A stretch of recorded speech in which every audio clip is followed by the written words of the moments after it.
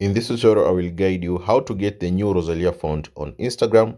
If you found this video helpful, please consider subscribing and liking this video. Now let's create a text story for your Instagram by selecting this plus symbol here.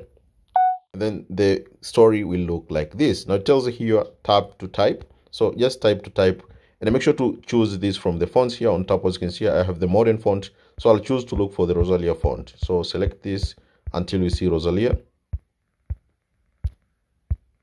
as you can see here is the Rosalia font which has been found here. So you may need to choose from your fonts to see if you have the Rosalia font. And once you see the Rosalia font, then you can type anything and then just post a story.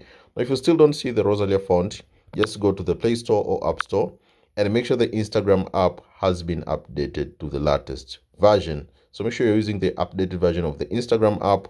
After updating it, open it and check if the Rosalia font has been found. Also, make sure you've joined the beta here. If you're on Play Store, Google Play Store, scroll down here, you'll see an option which say joining beta. I have already joined the beta. That's why I get new features once they are released. So make sure to join the beta here. It is found.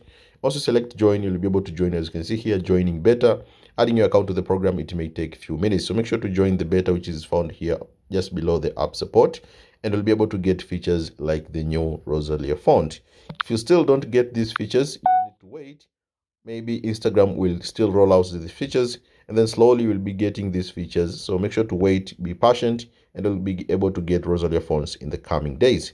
Thank you so much for watching this video. I hope this tutorial has helped you and see you next time